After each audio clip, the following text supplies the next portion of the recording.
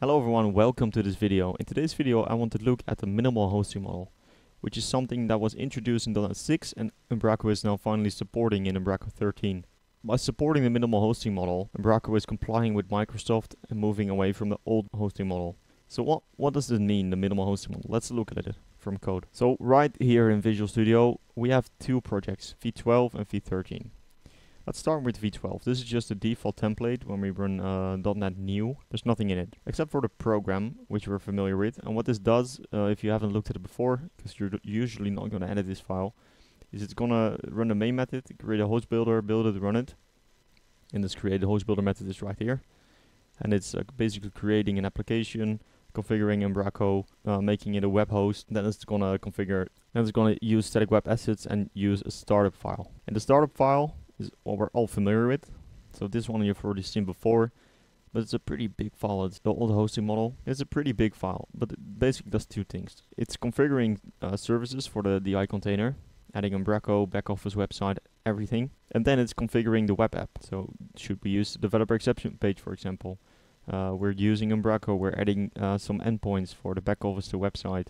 So with V13, all of that code that we just saw is uh, compiled back into single program.cs and it's even fitting on my frame. It's only 27 lines of code. You can easily migrate to this uh, model by using the v13 template and just pasting it in. Uh, but we should note a couple of things. Uh, this seems very familiar, right? But this is actually a bit different. Uh, previously, Umbraco used to uh, call the service container and add Umbraco, which will require us to add the environment and configuration, which we could still do, uh, but we don't want to. So this is the same as we saw before in the startup file. Uh, we actually want to use create Umbraco builder because create Umbraco builder adds some defaults to the host. Like you can see then it's just calling the service container, adding, adding Umbraco, parsing an environment and a configuration. So when moving to a single program file, you should definitely make sure you're using create Umbraco builder and not uh, add Umbraco anymore. Uh, then once that is done and every service is configured, our app is built and then we have a web application. That something that is new is on is booting Umbraco in the background, right? The description said it's, says it's starting the service runtime to ensure Umbraco is ready for middleware to be added. This is a step that should definitely be done before calling any extra method on the web application. For example, use Umbraco is below it. And this is also very familiar, what we just saw in the startup file. Uh, finally, the app is being run asynchronously, and that's it for your program file. So this is nice and all, um, but how do we add our own services? Well, the builder, like we just saw before, has a services uh, property, and then we can just do, then we call, can call add code and add any class we have. Uh, I, I don't have these methods, but it works exactly the same. I could understand that this might be a bit confusing. So what I like to do in my projects, which have a bit more code in this, the program file than this, or in the startup file, because we're adding a lot of stuff to the application, I actually like to um, I like to kind of merge the startup file back into this. And how can we do that? Well, first of all, I want to bring back the, the configure services method. And we can do this by using a local function. At the bottom of our program file, I'll, I'll add the local function called configure builder. This is a static void and will take in our web application builder. Now we can move this code, which is right there, into this uh, function and then we can call it from above. This is now very similar to the configure services we had before. If I want to configure services, I'll just add a local variable called services for uh, simplicity. Now we can just call the add scope method or whatever we want from this method. It, it just adds a bit more structure. We can do the same uh, thing for this piece of code, which was previously the configure method. Below the configure builder, I will add a new uh, local function called configure, which will take in the web application as app and the web host environment as env. Now we can also move in this code. Now we can also do environment specific stuff, like if env is development, we'll add the app.use developer exception page. Now we just need to call this configure method. I chose to exclude the boot Umbraco sync because it's awaiting and we don't want to make this a task, but also because it's mandatory to be called first. So we'll add in the configure method and parse in the app and the app.environment, which is a web, app, uh, web host environment. And because this is excluded from the configure function, uh, we make sure that this is called first and we don't accidentally put code before it. So now we have a program file which is uh, basically refactored to be a bit more structured. Uh, just to go one step further, which is something I do not actually recommend, but just to make it a bit more familiar for you, is we can take all this code and remove it, And let's do it the old way. So we'll add in the, the main method. So now we're back with a program uh, class with the main method. This is actually what's just being generated behind the scenes when we uh, when we use the top level program file. And now we can paste back our code in.